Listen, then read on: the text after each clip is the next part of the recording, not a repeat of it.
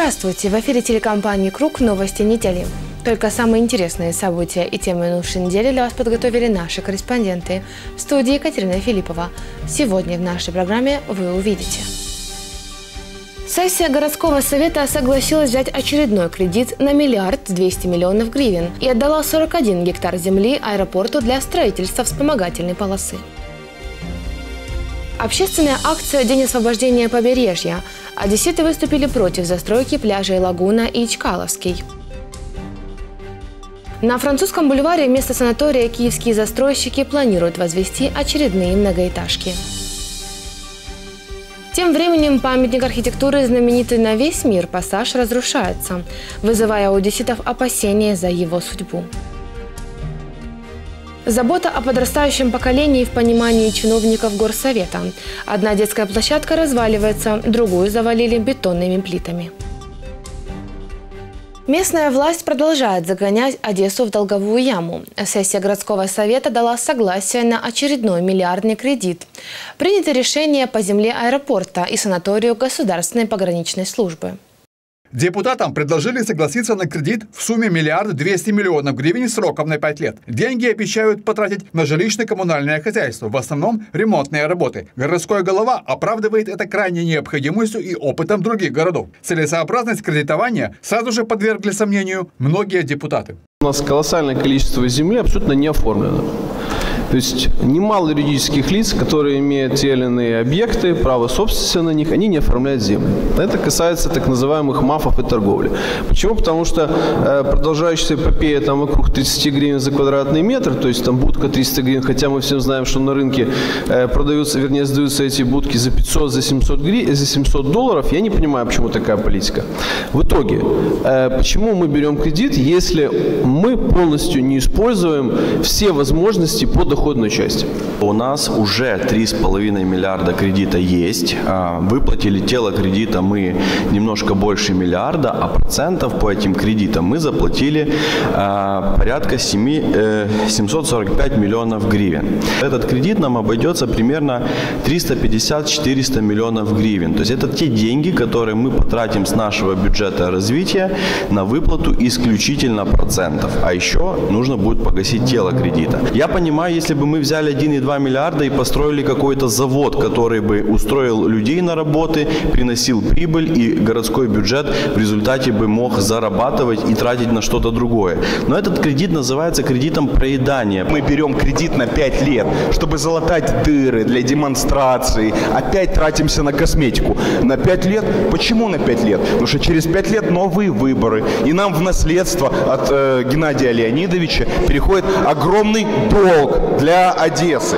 Гениальнейшая схема. Пожалуйста, Просто это легендарная. Уважаемые коллеги, это голосование, это самый большой позор Одессы за последние, не побоюсь этого слова, 200 лет. Вот следующий кредит, когда мы планируем брать, чтобы мы понимали, через сколько мы будем должны и сколько банкам? На даний час э, планів щодо іншого запозичення, крім того, про яке йде мова, в планах департаменту финансов немає. Когда брали предыдущие кредиты, планов на следующие тоже не было. Так можно одалживать деньги, пока город не разорится. Но к тому времени действующая власть уже наверняка уйдет, и разгребать финансовые завалы придется другим за счет всех одесситов. Стоимость кредита для города будет уровень инфляции, плюс то, что заложит Национальный банк, плюс маржа, плюс 4,5%.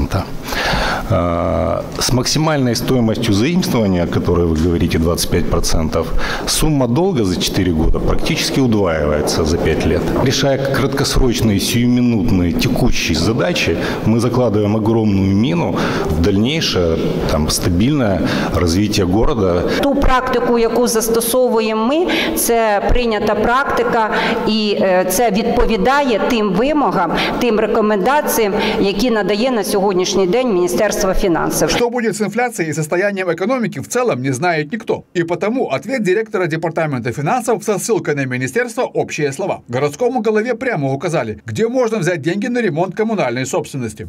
Многие из этих объектов вполне можно было бы ремонтировать и за счет бюджетных средств, которые, безусловно, можно было бы найти.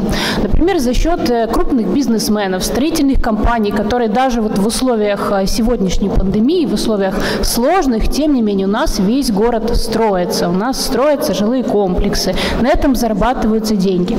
Скажите, пожалуйста, почему не зарабатываются деньги, не выставляются условия тем же строительным компаниям, ну и другим крупным бизнесменам, которых у нас э, тоже очень много в нашем городе, чтобы решать наши социально важные инфраструктурные вопросы. Вот вы мне придете или мы с вами встретимся, скажете, Геннадий Ильич, у меня есть, есть план действий. Он такой, вот надо, извините за выражение, наехать на этого бизнесмена, запугать этого бизнесмена, чтобы они там построили что-то. И подскажите мне, как это можно делать. Я выслушаю вас, и, и мы это обсудим, и будем внедрять. Ни один из предыдущих мэров даже в шутку не упоминал о возможности давления на бизнес, а тем более открытого вымогательства денег. Геннадий Труханов считает такое возможным. Разрешение на кредит должно дать Министерство финансов, и только тогда его окончательно утвердит сессия. Проект решения о принципиальном согласии на кредитование утвердили. Далее представили проект городской целевой программы поддержки информационной сферы Одессы на 21-23 годы. На деле это финансирование сайта городского совета. Э, сейчас мы принимаем решение по информационной сфере нашего городского совета. Сейчас мы хотим утвердить финансирование э, этой программы на сумму 33 миллиона гривен. Э, в то же время на самом сайте, прошу заметить, э, на самом сайте мэрии количество вот неисправностей, оно просто, извините меня, э, граничит с абсурдом. Более того, для аналогии я хочу привести пример. Мы хотим потратить сейчас более, ну, фактически полтора миллиона долларов на информационную службу, и все статьи расходов, по сути, сводятся к сайту. Хочу заметить, что при этом, э, по, согласно отчетам глобальной мировой энциклопедии Википедия, на содержание сайта Википедии э, серверов, зарплат э, уходит э, всего суммарно 5000 долларов. На эту сессию мы получили итоговый список всех пунктов повестки лишь на согласительном совете вчера вечером. О том, что сессия была перенесена на час раньше, уведомили все всех депутатов, но на сайте Горсовета это уже появилось ближе к ночи. Это вот эти вот наши с вами, господа, полтора миллиона долларов так работают. Вот ответьте мне на, вопро- на вопрос, это специально или вы профнепригодные? Спасибо. Профпригодний і не спеціально. Питання 3.5. Про затвердження міської цільової програми підтримки інвестиційної сфери міста Одеси на 21-23 роки. Городской голова противоречит сам себе. Если работники мэрии профессионально пригодны, то получается, они знают, что делают. И недостатки сайта создаются намеренно. Тогда имеет место сознательное сокрытие информации. Депутатское большинство при голосовании, как всегда, поддержало мэра. Для строительства полосы подруливания самолетов и других технических подъездов в аэропорту государству понадобился земельный участок площадью 41 гектар. Проект финансируется за счет государственного бюджета и действительно нужен Одессе. Но городу принадлежит всего 25% всего комплекса аэропорта. Собственность эта давно технически и морально устарела. Сертификат на эксплуатацию аэропорта после реконструкции дает государственная авиационная служба и получит его, скорее всего, частная компания Международный аэропорт Одесса, у которой в руках большая часть имущества. Исходя из того, что сертификат эксплуатанта Международного аэропорта получила ООО Международный аэропорт Одессы, то давайте-ка мы с вами угадаем, кто будет в дальнейшем эксплуатировать взлетно-посадочную полосу. У меня как-то желание голосовать э, за этот вопрос вообще отпало напрочь. Я даже вообще предлагаю его исключить. Городской голова ушел от прямого ответа на вопрос, делая вид, будто проблемы не существует. Мы сейчас говорим о выделении участка земельного держа, э, государственному предприятию на основании которого державное предприятие за свои деньги, порядка более 700 миллионов гривен, сделает нам, э, построит магистральную рулежку. Решение по земельному участку в аэропорту все же приняли. Остается другая проблема. В Одесском аэропорту, э, единственном в мире, наверное, сегодня э, въезд на территорию аэропорта стал платным. И начиная с первой минуты нигде в мире такого нет. Везде есть возможность подъехать к аэропорту минимум 10 минут бесплатных для высадки или посадки пассажиров. Но нигде с первой минуты не взимают плату. Навести порядок с парковкой – дело элементарное, но городской голова дал поручение образовать рабочую группу для выяснения ситуации. Следовательно, поборы будут продолжаться еще неизвестно сколько. Государственная пограничная служба обратилась к городскому совету с просьбой оформить землеотвод на участок под ведомственным санаторием в Аркадии. Земля принадлежит государству, но по городскому зонингу менять ее целевое назначение нельзя. Пограничники обещают сохранить санаторий. Тот отвод, который э, сейчас, возможно, может произойти в границах э, вашего санатория по целевому назначению оздоровчи, то есть земли санаторно-курортного типа, никак не мешает вам получать и регистрировать э, разрешительную документацию на желаемые ремонты. Ну, что мешає вам це робити? Є великі побоювання. Ну кажу про нашу фракцію, про те, що щоб там не з'явився корпус на 25 е, етажів, що на поверхів, щоб там не з'явився очередний корпус на 25 поверхів, як це ми вже бачили. Я бачу цільове призначення, цільове призначення для розміщення постійної діяльності Державної прикордонної служби України. Але вже були в нас випадки, коли цільове призначення мінялось якимись там реєстраторами, е, котрих потім ніхто не може знайти.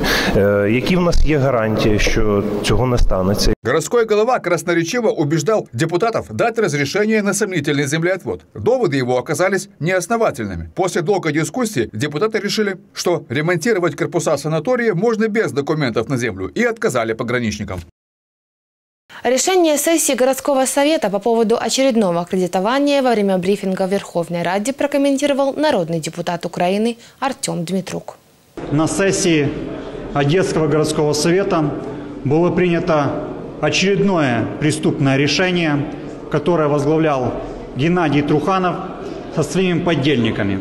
Почему я называю депутатов Одесского городского совета поддельниками преступника? Потому что ни один депутат не будет работать против украинского народа и против одесситов.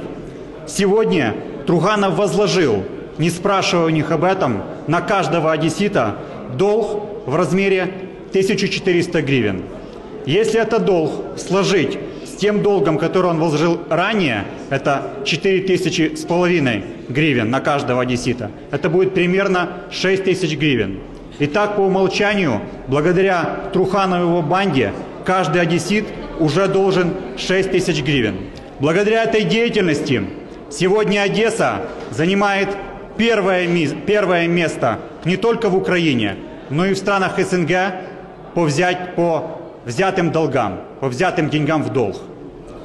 Я скажу, что первые кредиты, которые, которые брал Труханов, были взяты под огромные проценты, от 11 до 23 процентов.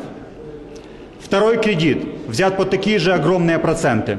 Я считаю, что Одесса может брать кредиты, но если деньги остро необходимы для развития нашего региона, но они должны быть или с, э, с минимальными процентами, или без процентов. Прошу каждого одессита здраво смотреть на ту деятельность, которую проводит Труханов, и делать выводы. Как видим, старая добрая схема Труханова по распилу городского бюджета и кредитных денег продолжает работать.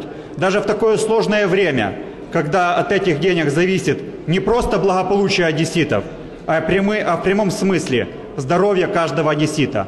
Сейчас эти деньги необходимо было бы потратить на больницы, школы и садики. Но они будут потрачены снова на карманные компании Геннадия Труханова. И ни один одессит не увидит результата работы из этих денег. Одесса рискует потерять еще два пока бесплатных пляжа. Лагуну и Чкаловский. Городская власть помогает бизнесу прибрать к своим рукам собственность громады. Представители ряда общественных организаций провели акцию «День освобождения побережья». Защитники побережья собрались возле Чкаловского пляжа. На днях, благодаря бдительности одесситов, тут удалось предотвратить подготовительные работы к так называемому благоустройству. Проходили они почему-то ночью и с применением тяжелой техники. Полиция остановила самоуправство и пока контролирует ситуацию. На акцию для разговора с одесситами приглашали представителя застройщика, но он не пришел. Пожалуйста, не лезьте своими руками в наши парки, пляжи, территории рекреации, зеленые зоны, исторический центр. Давайте, друзья, все-таки не будем сдаваться, давайте постараемся сделать все от нас зависящее для того, чтобы не потерять этот один из последних оставшихся зеленых уголков нашего побережья. А Аркадия очень яркий тому пример, можете посмотреть на нее сегодня. По информации общественников, застройщик уже договорился с городской властью, не спрашивая согласия горожан. Территория э, санатория Чкалова, пляж санатория Чкалова. Там э, уже анонсировал застройщик э, большую, большую застройку, большие строительные планы. Вот, э, и здесь э, как бы очень большой вопрос, потому что любые строительные работы, которые проводятся в черте города, нарушают э, целостность парковых зон и так далее. Здесь это парковая зона, они должны проходить процедуру оценки вплыва на довкиля, и по этой процедуре обязательно э, проходить общественные слушания. Акция Акция продолжилась на пляже Лагуна. Несколько дней назад тут тоже начались строительные работы. С помощью тяжелой техники изуродовали украшение пляжа, природную ракушечниковую скалу. По проекту арендатора для удобства отдыхающих ее распилили посередине. Это второе посекательство на пляж. В 2015 году председатель областной государственной администрации снес забор и открыл свободный доступ к морю. Затем одесские активисты пресекли попытку застроить пляж торговыми павильонами. Несколько лет было тихо. Сейчас посягательство на права одесситов возобновилось появилась под видом благоустройства. Это противоречит закону Украины, целый ряд статей нарушает и Конституции, и, и прямые права конституционные, ограничивает доступ к водному объекту, ну и водный кодекс нарушается. Поэтому, э, что касается этого пляжа, то здесь направ, направлено это мероприятие на то, чтобы э, э, оставался открытый доступ для граждан в первую очередь. Ну и, конечно, кроме вот этих навязанных услуг, чтобы была возможность просто людям прогуляться, просто отдохнуть. Участники акции призывают одесситов к объединению. Пока еще есть что сохранять и защищать. Вставайте с колен. Говорите своим соседям, своим друзьям, что от вашей активной позиции зависит очень многое. От вашей публичности, от вашей активной позиции в судах, в прокуратуре, в городском совете. Зависит очень многое. Мы мало уже можем здесь, в Одессе, но мы много можем сделать в Киеве. Центр начинает нас слышать. У нас есть все шансы, если мы будем сильно стараться, у нас есть все шансы отстоять свое море отстоять свои парки, отстоять свою комфортную жизнь, отстоять свое здоровье. Что сегодня делает городская власть и застройщики? Они ведут себя как мародеры, которые захватили э, богатый, э, богатую усадьбу, квартиру, не знаю, что угодно, и ведут себя в ней как абсолютно полноправные хозяева, никого не спрашивая, потому что они считают, что никого, кроме них, здесь нет.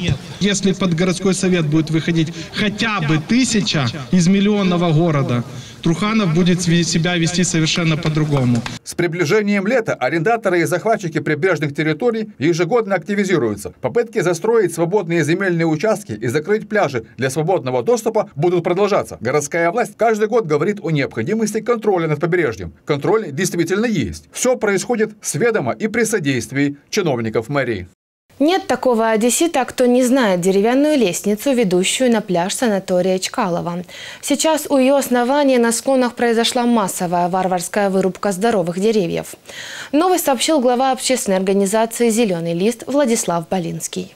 Перед лестницей Чкаловского санатория к трассе здоровья у основания верхней опоры бывшего лифта за прошедшие две недели была удалена красивейшая роща взрослых здоровых деревьев. Здесь, в этой части, нагло и цинично вот за, последнюю, э, две, за последние две недели было удалено э, ну, если я скажу десятки, то это мало, около сотни э, около сотни э, больших взрослых э, деревьев. И, и то есть это, это не просто уничтожение отдельных деревьев, это реально уничтожение ну, лесных массивов уже получается. Это здесь необходимо с точки зрения уголовного производства уже рассматривать. Сейчас я вам покажу, но потому что деревья были уничтожены нагло, таким образом, что Э, эти срезы были замазаны э, землей, чтобы э, не было видно. Ну вот это вот начало, ну как бы я вам показал, это ясень.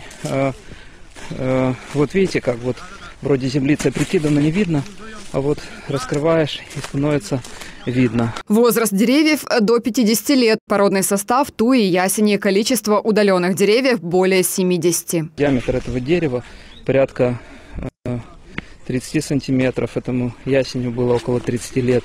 Вот э, здесь сразу ряд деревьев. Вот посмотрите, диаметр уже больше 40 сантиметров. Вот, это ясень был прекрасный, большой, шикарный. Вот. Э, все э, замазаны, то есть искусственно состарены срезы. Вот таких вот больших деревьев удалено э, порядка 35 вот, видите, ясень тоже громадный. Вот, если присмотреться, их очень много. Здесь же и туя, вот э, это хвойное дерево, ну, скажем, голосеменное, которое росло до такого вот размера, э, ну, наверное, лет 40, если не больше. Экологи бьют тревогу. Одессу скоро будет не узнать. Зеленую зону продолжают уничтожать. Побережье и склоны застраивать. Под что расчистили площадку над Чкаловским пляжем, пока неизвестно. Но сделано все было быстро и нагло. Следы заметены, а несчастные пни присыпаны землей, что одесситы ничего не заметили. Но не заметить проблему невозможно. В общем, то, что происходит в Одессе, вот посмотрите, вот э, какое дерево.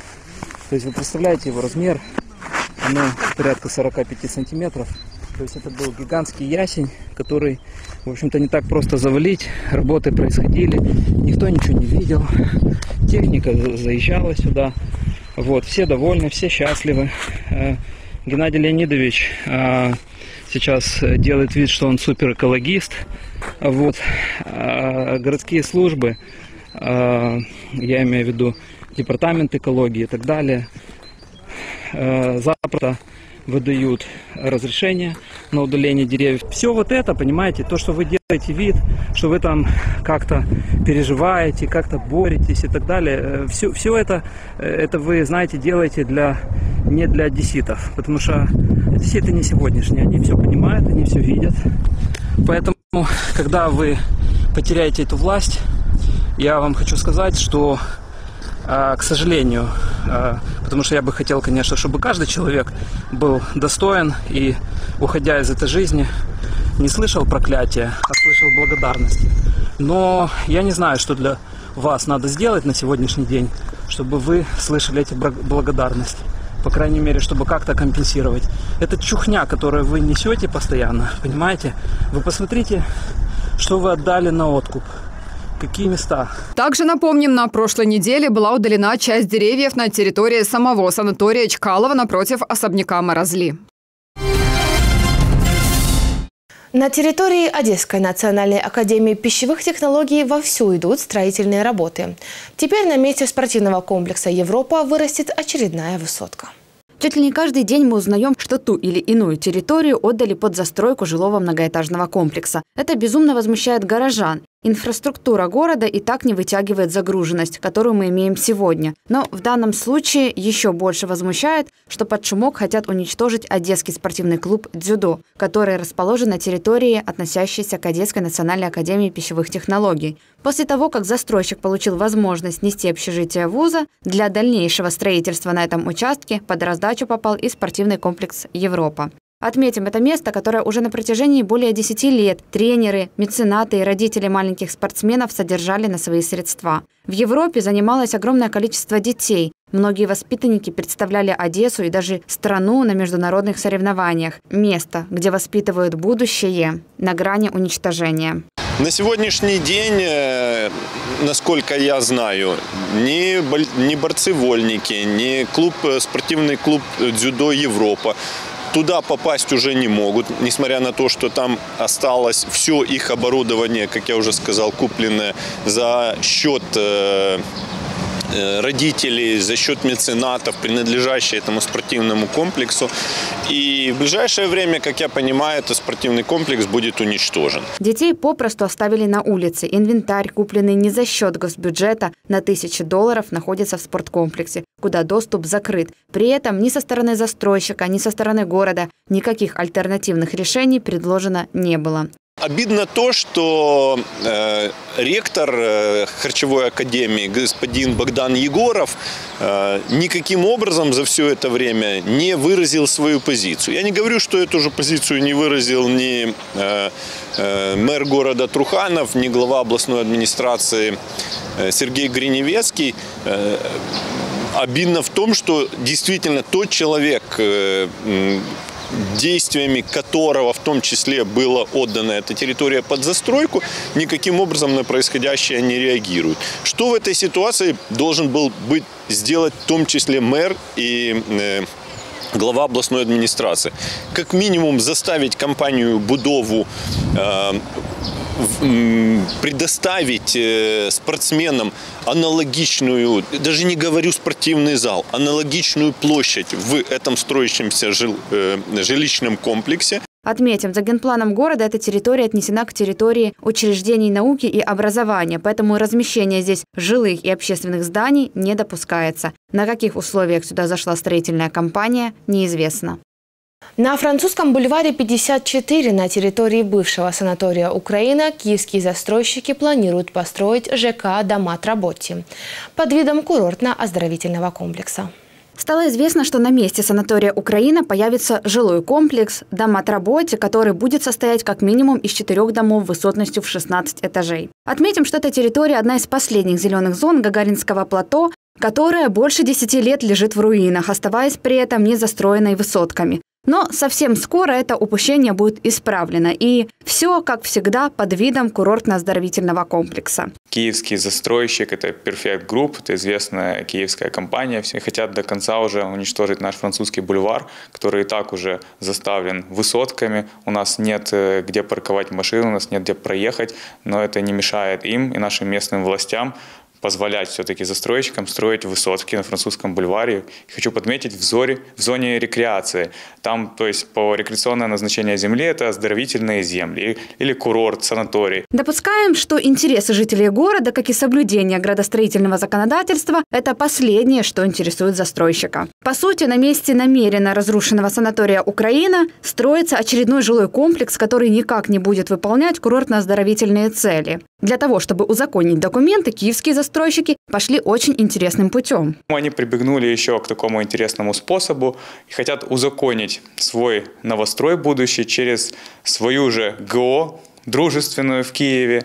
Рух «Справедлива Украина» у нас есть такая ГО. Они обратились в Киевский окружной админсуд с требованием якобы разорвать э, градословие ограничения с э, компанией «Сага» и «Домат Работе». Но эти судебные заседания проходят без участия сторон, в спрощенному порядку. То есть дело будет слушаться в порядке упрощенного производства без проведения судебного заседания и без вызова сторон. Получается, судьба более одного гектара земли Одесской рекреационной зоны будет решаться в Киеве за закрытыми дверями, без всякого привлечения одесситов. Не кажется ли вам это странным? Поэтому, чтобы не допустить решения дела без гарантии, что одесситы будут услышаны, общественная организация «Общая цель» приняла решение о вступлении в судебный процесс третьей стороной. И только вступив в процесс, общественники будут уверены, что наши позиции как одесситов будут донесены до суда. Я хочу обратиться к нашим властям. У нас много есть санаториев, которые можно реально привести в порядок. Мы знаем, что в бюджете есть на это средства, и можно их приводить в порядок. Тем более после ковида, я думаю, многие люди с Украины и не только приезжали в Одессу подышать свежим морским воздухом и лечиться, а не смотреть на эти новострои. Думаем, что все горожане согласны с вышесказанным. Хватит распродавать драгоценные рекреационные зоны города под застройку высоток и думать исключительно о прибыли. Пора бы позаботиться и об одесситах. Не забывайте, вы тоже живете в этом городе. Старая Одесса сыпется и рушится. Очередной памятник архитектуры, вызывающий у одесситов опасения за его судьбу, знаменитый на весь мир «Пассаж». Его плачевное состояние запечатлели наши коллеги из Украинской службы информации.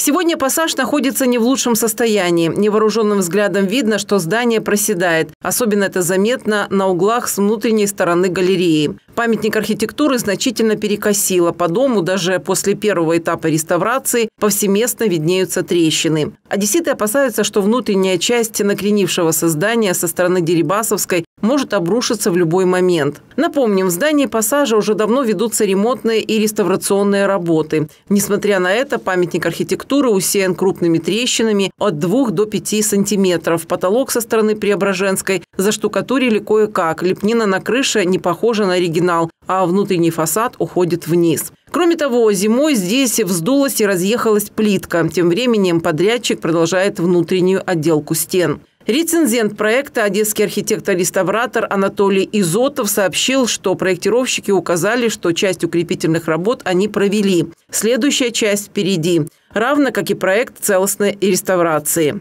Напомним, в декабре прошлого года фирма подрядчика написала в своем Facebook о том, что приступила к инженерным работам по усилению несущих конструкций памятника архитектуры. Эти работы должны были укрепить здание и защитить его от просадок и перекосов.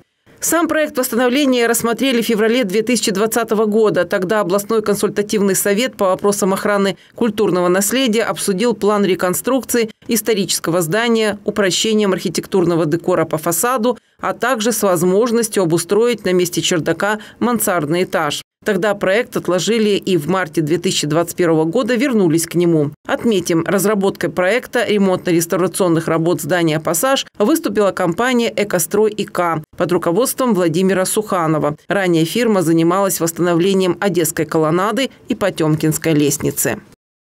На улице Черняховского стартовали ремонтные работы. Напомним, на участок от площади 10 апреля до 5 станции фонтана Горсовет выделил 40 миллионов гривен. Видно ли уже результаты проделанной работы в сюжете наших корреспондентов? Напомним, ремонт улицы Черняховского стартовал 10 марта. Тендер на ремонт дорожного покрытия выиграла всем известная скандальная фирма «Росдарстрой». В рамках проекта запланирована полная замена дорожного покрытия, мощение тротуаров плиткой, карманы для парковки машин, ливневая канализация и так далее. Со слов местных жителей, с начала реконструкции дорожные работы велись всего две недели. Начали с восстановления улицы со стороны пятой фонтана от фастфуда «Макдональдс», где расчистили парковочные карманы и несколько расширили улицу до перекрестка улицы Говорова. Затем работы приостановили до конца апреля. А вот на минувших выходных во время дождя, как отмечают горожане, дорожники расчищали мелкие ямы по улице, а затем заливали асфальт прямо в лужи. Что за технология, непонятно. Сейчас видно, что где-то ямы убрали, но при этом на проезжей части осталось много неровностей. Дорога как была разбитой, так и осталась. Хотя в проекте числится полная замена дорожного полотна. Как говорится, результат проделанной работы налицо. Забота о детях не входит в число первоочередных задач городской власти. На словах чиновники готовы сделать все для блага подрастающего поколения. Действительность показывает нежелание работать. Большая детская площадка возле дома номер 23 по улице Ивана Юрия Лып издали смотрится как новая – на первый взгляд малышам можно позавидовать. Подходим ближе и видим совсем другое. Четыре скамейки поломаны. Ломали явно взрослые, но детям от этого не легче. На одной качеле сорвано деревянное сиденье. Ее лучше бы совсем убрать, чтобы никто из малышей по неосторожности не покалечился. Качелю для детей постарше сорвали и унесли. Видимо, на металлолом. Горка без перил – опасная штука и в таком виде существовать не должна. Для малыша высота приличная. На второй горке нет ступенек. Провалится ребенок в эти дыры и хорошо, если только одежду порвет, а то и скорую вызывать придется. Лестницы красили, наверное, еще когда устанавливали площадку. С тех пор рабочие тут не появлялись. Жители оставили сообщение на городском сайте, а там, как обычно, разберемся, ждите ответа. Во дворе по улице Варнинская возле Киевского районного суда вообще творится что-то несусветное. Суд собирается собирается расширить свои владения за счет придомовой территории. Конфликт с жильцами ближайших домов тянется уже больше года. 9 февраля привезли секции бетонного забора вокруг будущей стройки и сложили на детской площадке. Другого места не нашлось. 12 апреля доставили вторую партию бетонного хлама. По вызову жителей дважды приезжала полиция, составила протоколы. Бумаги до сих пор пылятся где-то в ящиках столов, а плиты так и лежат. В обращении на тот же городской сайт жители спрашивают, кто понесет ответственность за этот беспредел. Вот так, с тремя вопросительными знаками. Не знают авторы жалобы, что для чиновников мэрии хоть 10 знаков поставь, толку никакого, им все равно. В Одессе в городском саду одно из деревьев украсили писанками. Более 500 расписанных в разных техниках яиц своими руками создали одесситы. В Одесском горсаду появилось настоящее пасхальное дерево с писанками. Инициатива, предложенная несколько лет назад, нашла свое продолжение. Первое пасхальное дерево в горсаду украсили в 2017 году. Таким нарядным дерево простоит до 10 мая. Идея создания столь необычного символа праздника Воскрешения Господнего Екатерина Адысева. Екатерина – мама троих детей и активистка. Именно благодаря ее усилиям в парке имени Шевченко появилась оригинальная детская площадка с тарзанками. Такое увидели эту неделю наши корреспонденты. А нам остается пожелать вам отличного настроения, оптимизма и только хороших новостей. Всего доброго и до новых встреч в эфире.